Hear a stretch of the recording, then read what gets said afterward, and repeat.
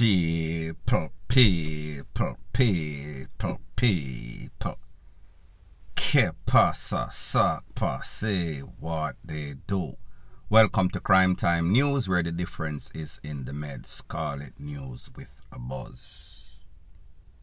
As a parent of kids, teenager, young adults, you have to be very, very careful be very careful because of the choices that your child, young adults, adolescents might make. Because it seems as if this new generation, they gravitate to the most worthless partner, worthless man, worthless woman that they can find. And whenever they make these choices, it always leads to that family member, mother or father being stressed out. It always leads to that family member getting hurt or in some cases losing their life. I am going to quote from one specific case. Selector Ricky Trooper, he lost his daughter the other day. His daughter was in some sort of relationship with some sorts of man that seems to have been obsessive jealous. That man, the baby father, father of one of her child, end up piping her up, meaning that she got S-H-O-T. She was taken out. The man was on the run. They would eventually find him in a some place, I think, Connecticut. Don't quote me. He was on the FBI U.S. Marshals wanted list and they eventually found him. Now when his daughter got murdered, he did not say in so much words, but he indicated that there was trouble in paradise. He indicated that she and this man was in a relationship.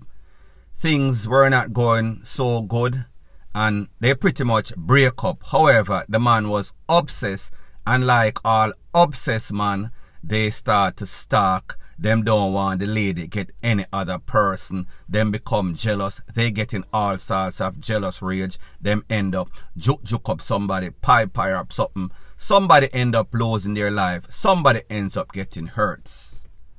Now the problem was with this situation is that Ricky Trooper being Jamaican, he had lost his US visa for a little while. I guess he was on social media with some sorts of tool, making some sorts of threats, and then they eventually revoke or took away his US visa. So you can just imagine as a father losing a child in a very tragic way, and then you don't have access to go into the United States for that child's final send off or the church sermon. So, people, I am going to show you a video with when Ricky Trooper went to the church in which they were keeping that ceremony for his daughter's final send-off. I am going to show you when he was greeted by what seems to be his daughter and then the reception that he got when he entered the church. Because of the fact that music is going to be played in the background, I am going to mute the rest. However, I am going to let the video play and then I am going to give you a case in which a next family, a young lady, is going through the same thing that Ricky Trooper's daughter and a whole lot of Jamaican young women are going through because them like to pick up the hot man. The men that probably make good lovers, however, worthless father, no good men. So people, let me speak about Ricky Trooper first. Take a listen, take a look at the video, and then I will give my piece. Kamaya ta ano, ang church, you know.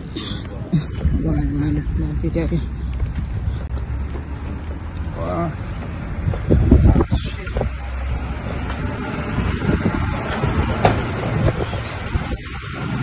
Oh God, what your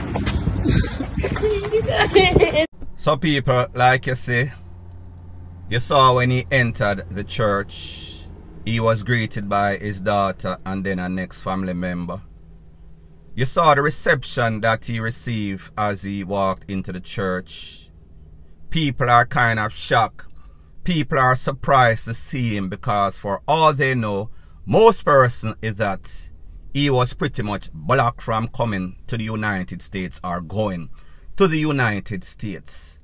So you see the reception that he received in the church. All type of hugs, all sorts of cheers. The emotion was overwhelming in this church because people know say, listen, as a father, regardless of what you did in the past, don't know if any sorts of person supposed to lose their family and then cannot visit that person final send off because of visa issues. I am assuming that some sorts of calls were made, some sorts of link was made, and then Ricky Trooper got some sorts of humanitarian visa. What a humanitarian visa is, if there's any sorts of tragedy in the family, any sorts of medical problem, that means uh, you need to leave from Jamaica, don't have a US visa, somebody is going to grant you that visa, whether it is going to be some sorts of US embassy official, some sorts of Jamaican consulate, some sorts of person with some sorts of connection. So my point is that he got that visa under unusual circumstances. He had to have lost a daughter for there to be any sorts of consideration, any sorts of sympathy so that he can go back to the United States. Now, people, I am sure that if you ask Ricky Trooper, he would rather to have his daughter back than to have this US visa. However, my point is this. If you as a mother or father and have children that are adolescents, meaning teenager in them 20s or so, this is a problem that a whole bunch of family are going through, especially with their daughters, because it seems as if some of these young lady me no know what kind of choice they are making, what type of plans they have for their future. However, it seems as if the worthless man, the worst father figure that they can find, these are the men that they seem to choose. People, like I said, Ricky Trooper had mentioned that there was trouble in paradise. He within himself, without divulging exactly what transpired, said, yes, this man and his daughter had problems. That man came back and haunt his daughter in the worstest way, meaning that she lost her life. She was gone for good, never to return. So people, that was Ricky Trooper's daughter's case. However, I am sure that if I ask most persons in the comment section or any cross section of Jamaica are overseas. Tell me about your experience with your daughter or your friend or family members that have daughters going through the same thing. It is going to be something that is the norm rather than the exception. I am going to give you an next case as it pertains to a set of people born in a 1993, that means uh, they would be 30 year old. I am speaking about a young lady, her name is K-A-R-I-C-K-I-A, Karickia, Karickia Mullins, and a next man, Pieran Mario McDonald's, both of them born in 1993.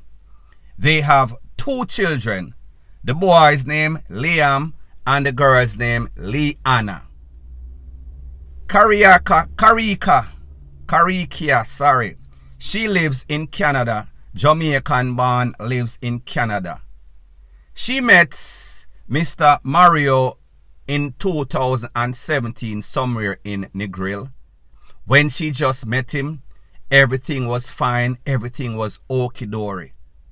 They were dating, she would make several trips to Jamaica. He would oftenly pay for the trip. However, people, as soon as the girl get pregnant, as soon as she have two picnic, the script start to flip because all he wanted was the joy. All he wanted was the P-U-M-S. All he wanted was the brains. All he wanted was all sorts of F-R-E-A-K-Y stuff. However, he was not or will never be ready for any sorts of relationship as it pertains to being a responsible father. So anyway, like she said, she sent me a text and people, I have never gotten a text that is so long ever. With all my experience on social media, me never get a text so long. It was like some sorts of book. However, I was patient and I read every line, every word in which she sent because I found it very disturbing. As a matter of fact, I sent it to the relevant authority along with his picture. Hopefully, they will do what they are supposed to do. However, the reason why she got herself in this predicament is that it seems as if she have odd ears like a whole lot of these young ladies. So people like me say they met in 2017 relationship was going good until she got pregnant. When she got pregnant, that is when the physical ABUSE started.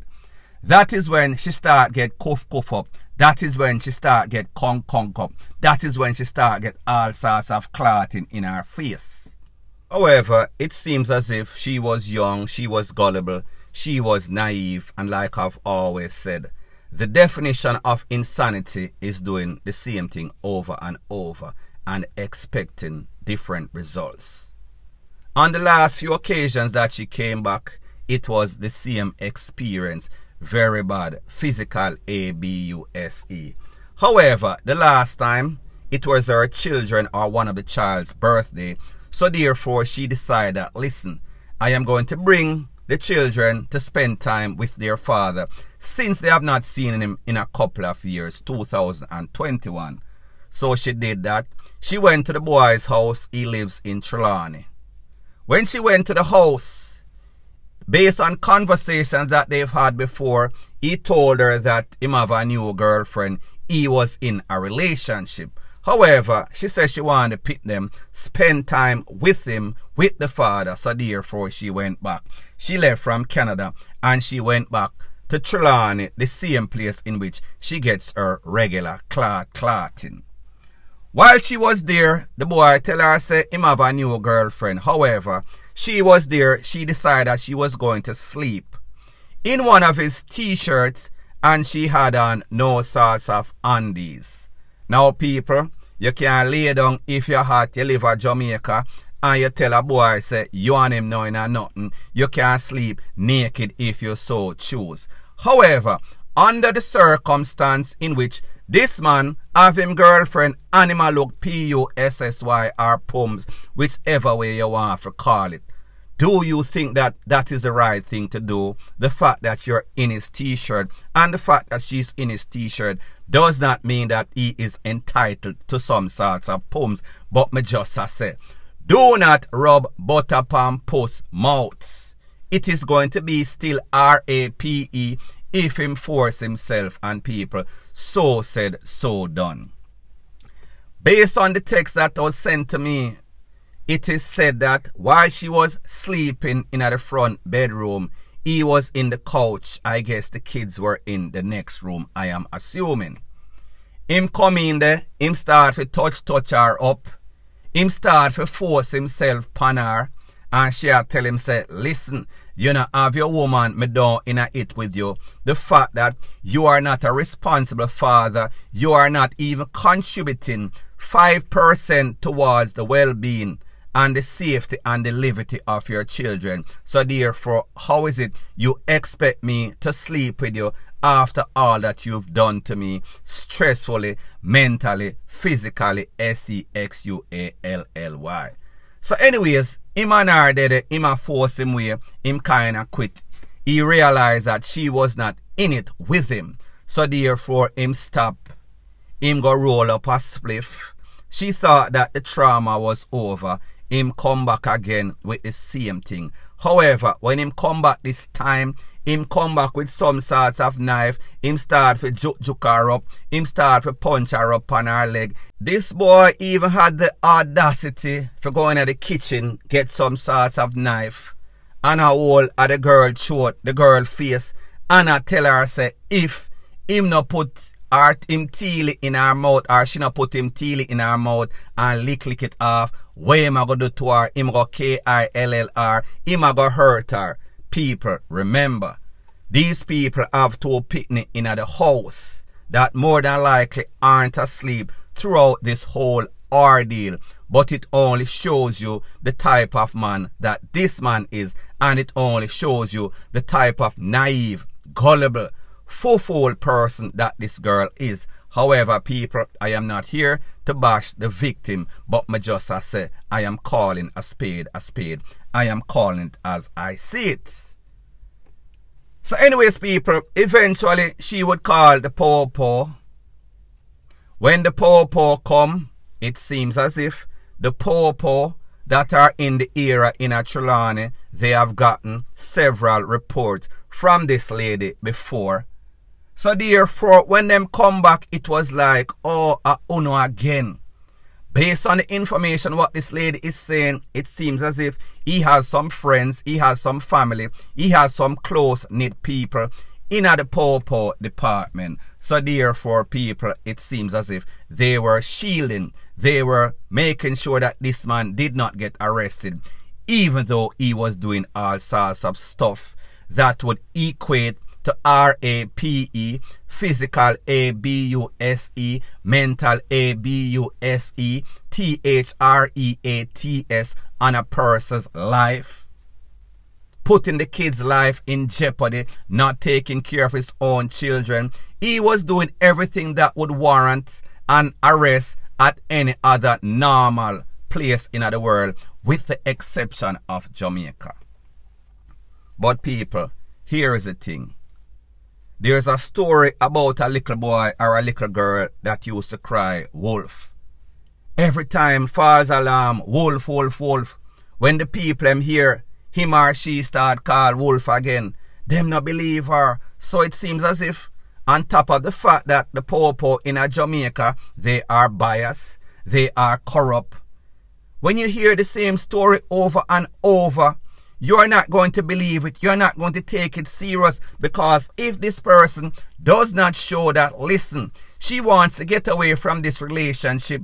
When she gets an opportunity, she leave from Jamaica, she jump on the Knutsford Express, she go at the airport, she jump on a plane, she go to Canada, and she come back again over and over and over. That is called the definition of insanity. And sometimes these people are so emotionally hook, traumatized. It seems as if them basically tie them with some sort of obeah man I am speaking about mentally. So people, anyway, based on what this lady is saying, when the popo came to the house and they asked, explain the situation, give your side of the story, the man I said to her, then oh me for R-A-P-E any sorts of W-H-O-R-E. That is what he said in front of the popo. The lady even said, forget about this part, that on some occasions she would be sleeping. And when she wake up, she feel something splash in her face. The boy over her uh, ejaculate upon her face.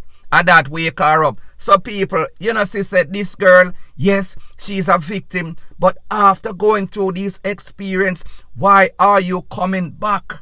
So anyways, back to the situation as it pertains to the poor poor. The lady said when the popo, especially a female officer, she come and she a rush lady, listen, it not seem like you're ready. We are to drive left you if it not seem like you want come.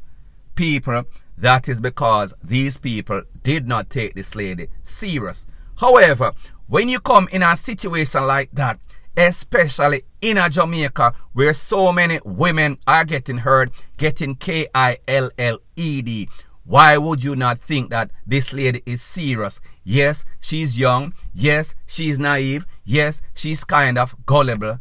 However, it does not mean that you're supposed to leave her. It does not mean that you're supposed to step on her face while she is down in the dirt.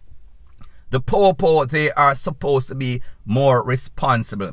They are supposed to assess, analyze each situation, even if she call them 20 times on the 21st time they are supposed to know that this situation seems kind of dangerous. Maybe we need to intervene. Maybe we need to separate this family from this man because at the end of the day, if it keeps up like the way that it is keeping up, somebody is going to lose their life.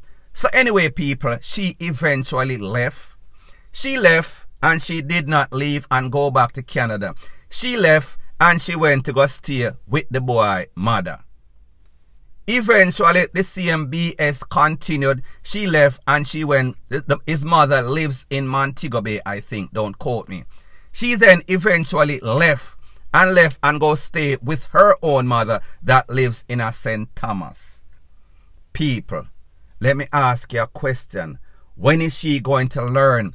Is she going to learn when this man pretty much take her away because she has given him so much opportunity?